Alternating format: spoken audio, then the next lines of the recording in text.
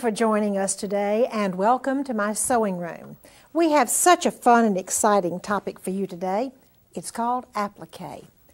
The first garment I have for you is a really sweet ladies jumper with all kinds of interesting ideas on it. Has three little rabbits across the front looking so cute with their little fluffy tails and little hearts appliqued on the rabbit. And there is a wonderful little saying which has been machine stitched on this jumper. A friend is someone who reaches for your hand and touches your heart. And then right below, there are three absolutely adorable hearts and used lots of colors that are picked up in the, from the main fabric of the jumper. Special occasion dressing is certainly fun when you know how to sew. This particular jumper would be very sweet for a 4th of July party or any kind of patriotic occasion. Stitched from the sewing machine are the words, God bless America, and then the rest of the bodice of this jumper has adorable, like a little doll carrying a flag, and three more little hearts down here with other patriotic um, calico pieces. You can even go to the discount store and purchase a sweatshirt and put applique on the front as we have done here with these adorable satin ballet shoes. This is a sweatshirt most any little girl would love to wear, especially those who love ballet. Peppers in every color. Isn't this a fun applique blouse? There are yellow and orange and red and pink peppers, and there are red pepper buttons down the front of this handkerchief linen blouse. A really cute and bright summer outfit. Little boys love applique. When my boys were little, uh, that was about 28 and 29 years ago, I appliqued nearly everything they wore. Look at this precious little button on the shoulder suit for a little boy. More applique for a little girl, another button on the shoulder, adorable uh, jumper for a little girl. And the final outfit to show you, I think is really elegant. It's a reversible vest with applique on one side, the red side, and then reversing to the back. It turns into a green vest with a really elegant black applique on the back, and then when it's reversed, let me turn it around. Isn't that pretty and really sophisticated? Now, go with me over to the technique boards where I will begin to share with you some wonderful techniques for applique.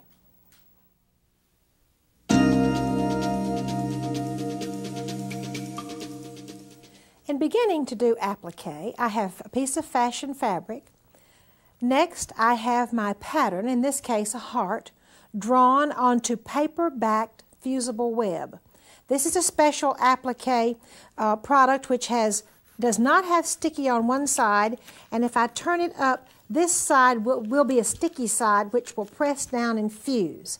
All right, I press this pattern onto the wrong side of the fabric, and then I peel off the paper part of the fabric, leaving the sticky side on the fabric. Then I press on, sticky side down, the heart onto my garment, and then I zigzag around the heart, completing my applique. Now let's go to the sewing machine for some more details on exactly how applique is done. I'm happy today to have as my guest Louise Baird, who is applique consultant for Sew Beautiful magazine. And boy, does she have some tricks for you. Welcome to the show, Louise. What do you have for us today? Well, I have the uh, instructions for beginning applique or how to put your applique down on your fabric and uh, then satin stitch around the edges. So repeating what Martha had to say, after tracing my design onto the fusible web, the, the paper side, I fused it to my fabric, cut it out, and then the paper needs to be removed That's all right. and after all of the paper is removed, then you fuse it to the garment. This is, the blue is called the applique fabric and the red would be called your base fabric. After you have fused it to your base fabric, a stabilizer needs to be placed onto the wrong side of your fabric, mainly because the, uh, to keep your satin stitches even. Next thing is to set up your sewing machine for a satin stitch. The stitch length needs to be short enough so that there's no gaps between the stitches. Uh, the top tension should be loosened so that if you can look here, the white or bobbin thread shows up on the wrong side, but so does the top thread. This is when your fabric, your thread is loosened enough so that your bobbin thread pulls the top to the right, pulls the thread to the wrong side. Now when you're doing a curve on satin stitch, this is really the way that it looks. This is an inside curve here, this is an outside curve. When you're working on an inside curve, you want to pivot or leave the needle in the fabric on the inside of the curve because there's greater area to cover on the inside of that curve. On an outer curve, you leave it on the outside. This is the way that your satin stitch should look when you have done curves. On this side, I have shown uh, leaving the needle in on the wrong side. Can you see the little V's that's created if you leave your needle in on the wrong side to do your pivoting?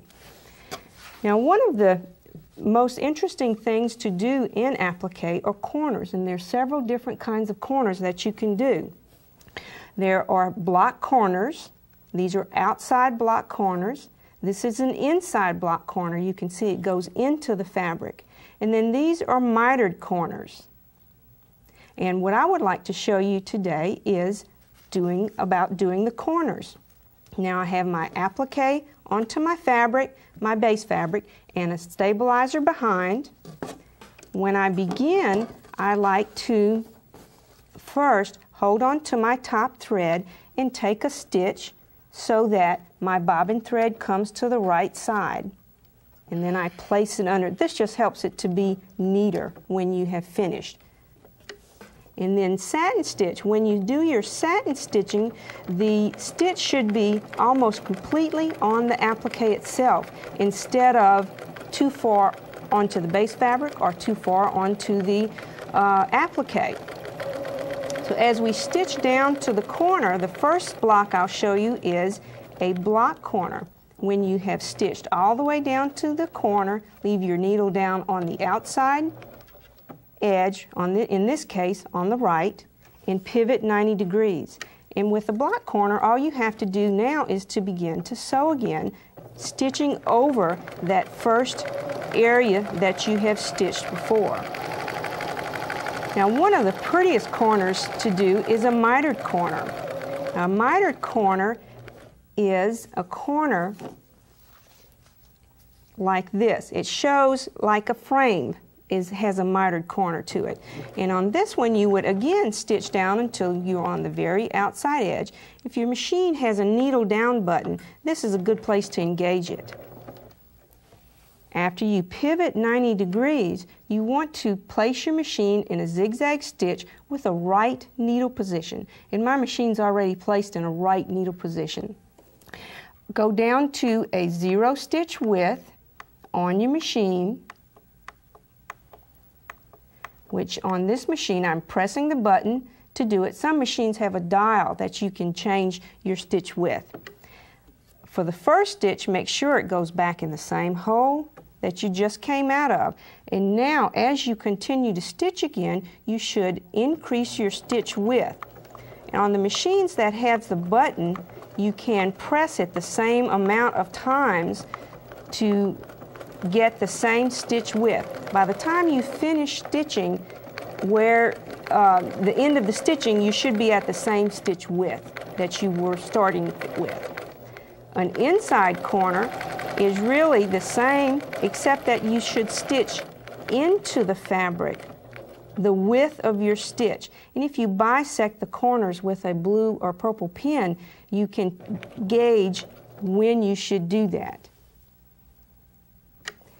After turning 90 degrees, I am going to engage my um, reverse needle or mirror image position go down to a zero stitch width again. By pressing the button, By right? pressing the button on this machine.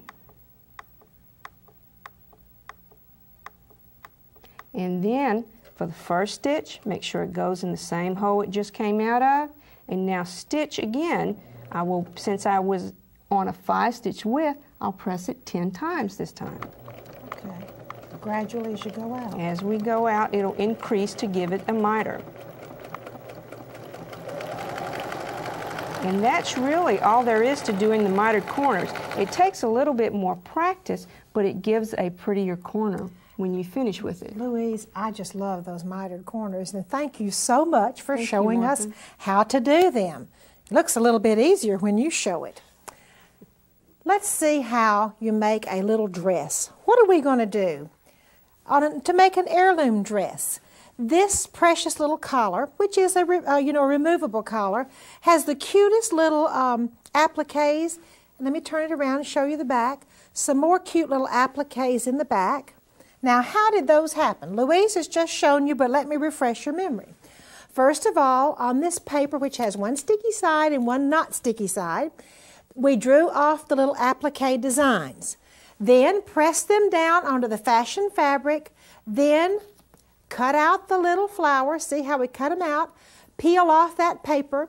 And this will do the same thing with the little leaves. Now, let's go over here. Press them on the collar, on the back of the collar, on the front of the collar. All of this has just been pressed down. Then we do this, uh, applique the leaves, and then come in here and applique the stems, and lastly, applique the flowers. And then to put some grass on this little collar, we're going to go ahead and just put one final strip here, and there is how to make this absolutely adorable little applique collar. You know, we're going to use applique on a quilt square too, so come on along and let me share with you how this is done.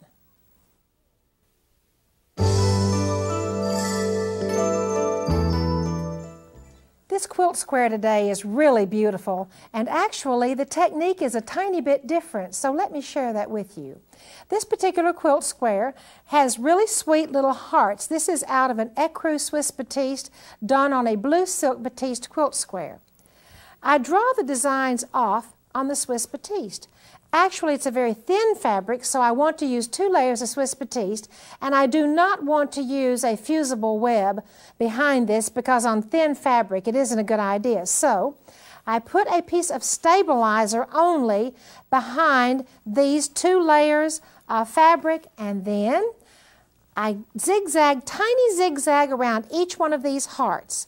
Then trim away the extra layers of Swiss batiste and the ecru. And so I just have the hearts tiny zigzagged around there and then go back and zigzag your pretty zigzagging around the hearts. That's an interesting way not to use the fusible web. Next, we have a really sweet little doll dress for you with some appliqued watermelons on her skirt.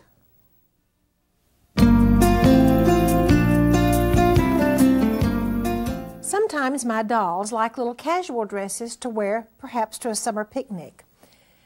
This doll dress is really an easy one to make and so much fun, especially if you love to do applique. The little bodice of her dress features little machine scallops, little decorative hearts on top of a little ribbon piece, our little drop-waisted dress. The cutest part of this dress is down at the bottom. Little watermelon slices. Now here's a little watermelon slice that has not had a bite taken out of it. And then the next little watermelon slice that you see here has had a bite taken out. Well, as a matter of fact, it has had two bites taken out of it. And then the trim on the dress features a sweet little machine scallop in the same color as the watermelon rind. Now, how did this little dress, how did these little watermelons get on this dress? Let's walk through it step by step. First of all, I cut out the different pieces of watermelon, Uh, well, put the fusible web on it, and then cut it out. Then I take the fusible web off, both of the pieces. Let me try to get this where you can see. And then I place the watermelon down and the watermelon rind down and press it. Therefore, it fuses it then to the fabric. It's kind of glued down. Now, in applique, I stitch, I do my zigzagging background to foreground. So let me take you in sequence to show you the background to foreground. Here we go. I zigzag the watermelon first. So I do my pink thread up and down. Next little stitch comes around the watermelon rind. Down the side, across the bottom, up the side. The next little stitch comes the top of the watermelon rind right along here. Okay, now let me flip it over. Here comes the fun part. We're going to be putting in the um, going to be putting in the watermelon seeds. The next part of the stitching will be the two little watermelon seeds right here. And then I have all of it finished, zigzag, background to foreground. It's now time to put the little machine scallops on and then finish completing the dress. Next we have a beautiful wool embroidery stitch for you. Wool embroidery is one of my favorite forms of needlework. I am very pleased today to have as my guest Esther Randall, author of Esther's Silk Ribbon Embroidery. Welcome to the show, Esther. Thank you, Martha. Today, Martha, we're going to work on the herringbone stitch. And there again is another wonderful stitch that you can do just wonderful things with. Not your, your yarn. You pull it up from the bottom, bring it to the right, go and back to the left. So you're moving from one side to the other, always with the thread down under your stitch, needle going on top. This is a most wonderful stitch for your crazy patch because you can use it as a base. You can use the herringbone for a fern stitch, which will give you this wonderful base. Esther, I've seen a lot of antique crazy patch that has that stitch Right. This is just an old favorite. Now, that looks a little bit plain. Let's try another color going directly over from the middle of that stitch. And this is an old-fashioned stitch called Victorian stacking with the herringbone. Victorian stacking. Victorian stacking. So you can just add all sorts of embellishments. Now the previous stitches that we have used, the lazy daisy and the French knot, will just fit right in. So you see this is just such, and that gives you a whole different look. All right, now let's do another thing.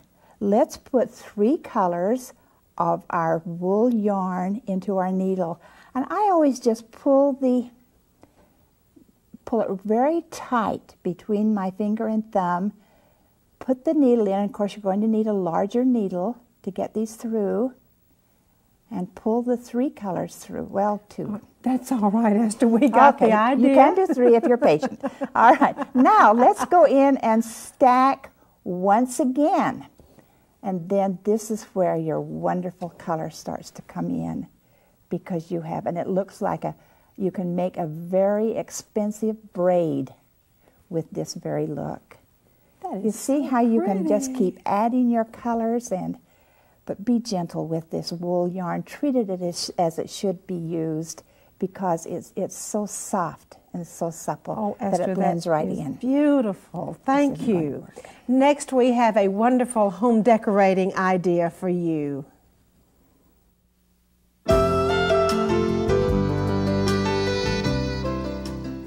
This applique rose pillow I think is very elegant and very expensive looking. And guess what? It's also very easy to make. The little pillow has a border around it which looks almost like a picture frame.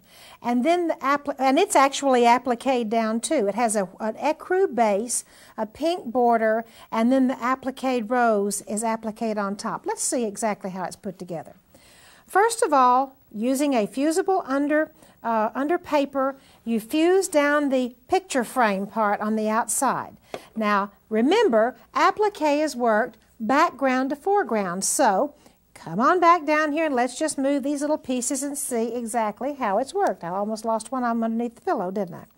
First of all, the two leaves are the most background part of the background. So, we'll come in here, pull the paper off the leaf, take an iron, press it down, and do the same thing with this leaf. And then we will applique those two leaves down. Next, do the same thing to the rose, and then the number of pieces you have, do the same thing, applique it down, and then here are the other pieces, and that's all there is to it. Now we have a really exciting hot glue gun craft idea for you.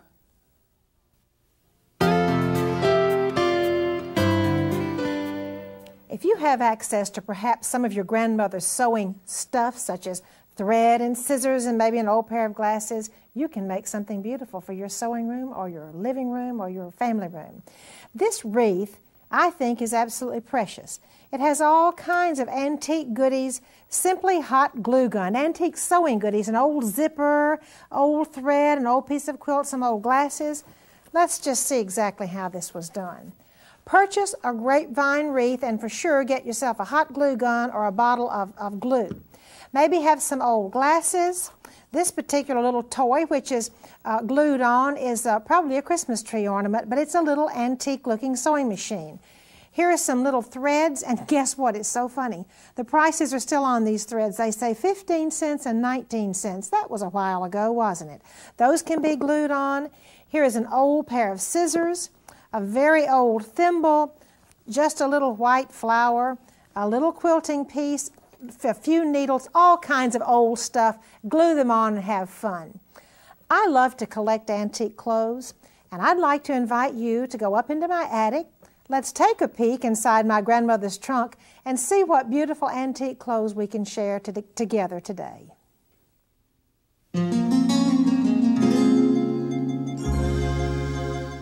Since this is the applique show, I tried to choose some heirloom clothing which had applique, and guess what? I found some. This beautiful blouse features sets of five tucks on the shoulders, then a wide tuck, five pin tucks, a wide tuck, five pin tucks. This tuck situation goes all the way across the front of the blouse. Then there is some pretty lace, but guess what? A lovely lace motif has been appliqued on right in the center of this blouse. So you see, Ladies a long time ago loved applique also. This dress is absolutely wonderful. It has lots of intricate lace shaping and edging all over the bodice of the dress. And right here in the center, if you will look, once again there is an absolutely beautiful applique, just simply stitched on at various little points right on top of the dress. This dress has a lovely skirt also. I think so many dresses that just have tucks all the way down, except this one has a little bit of lace interspersed in between the tucks. But truly, truly elegant on a dress yesterday as well as a dress today. For our Sewing from the Heart segment, I had an idea I would like to share with you. Recently, I had the privilege of traveling on a mission crusade with my church to Jamaica, Montego Bay, Jamaica. We took a sewing segment for the ladies. We taught one day we taught smocking, and one day we taught shadow work embroidery. Our pastor said that he had never taken an actual activity for the ladies on a mission crusade. It was well received. I think ladies around the world would love to have uh, hand sewing lessons. And of course, if sewing machines are available, I believe that they would enjoy that too. But you see, it's really easy to take some fabric, some embroidery floss, and some needles. And we had four wonderful days doing smocking and shadow work embroidery with some very appreciative ladies down in Malden and Montego Bay, Jamaica. Well, I thank you so much for being with me today. We've had a wonderful time sharing all kinds of ideas about applique with you, and I certainly hope you will be able to come back next time.